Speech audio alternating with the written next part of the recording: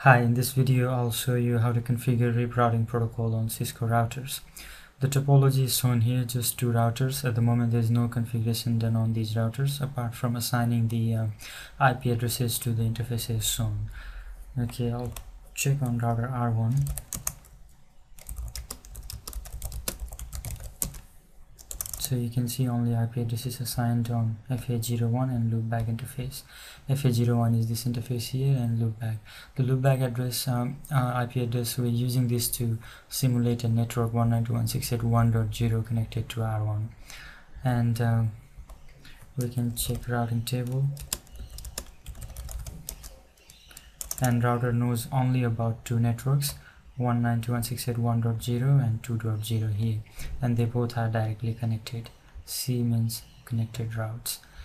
And there is no routing configured at the moment. We can check. So at the protocols there is nothing here. So router R1 is just a blank at the moment. I'll go to router R2 and do the same IP address is configured on FA00 and loopback 1 this interface here and loopback similar same here. This loopback interface is used to simulate a 192.168.3.0 network connected to R2 and R2 also knows only about two directly connected networks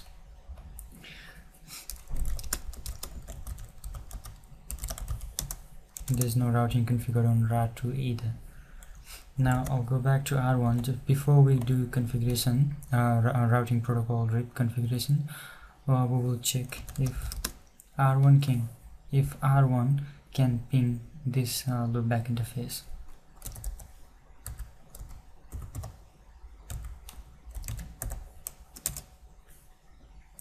It won't be able to ping because at the moment in the routing entry uh, router R1 doesn't know how to get to 192.168.3.0 network. It only knows about these two networks. So similarly if we go to R2 it won't be able to ping this interface here.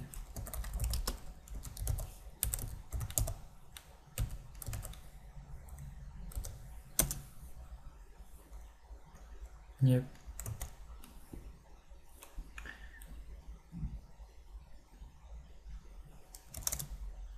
Now let's configure RIP on R1.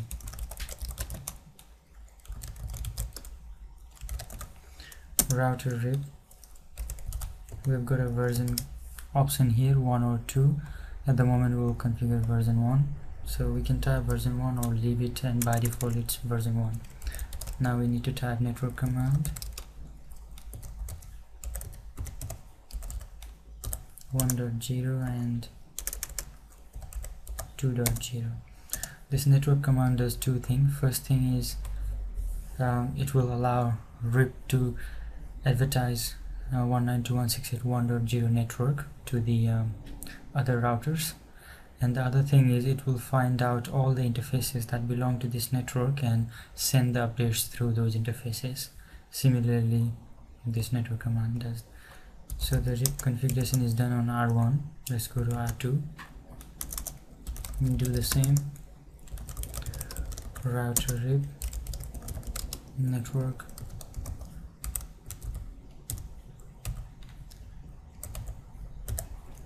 Two dot zero and three dot zero.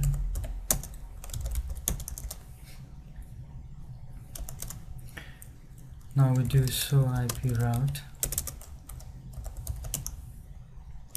And it has learned a new route to reach network 192.168.1.0 which is connected to R1 and it's learned via RIP R refers to RIP.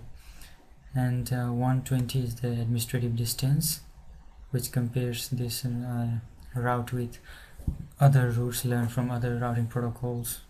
And this one is the metric which is in case of RIP hop count. So this tells this network is just one hop away from R2 which is from R2 one hop. That's all good. So similarly we go to R1 to see its routing table. Yep R1 has also learned 192.168.3.0 network which is here so it's pretty good. Let's try to ping now. 3.1 and it can ping.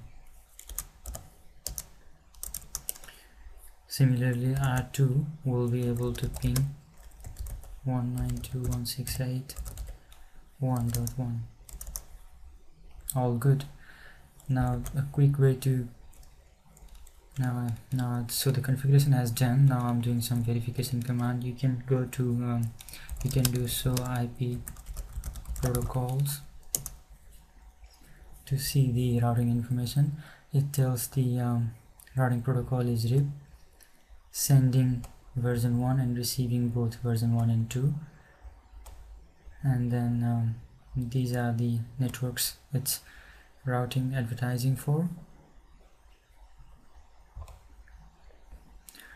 And just to quickly check the uh, routing configuration configuration you can do show running configuration and then pipe it with um, section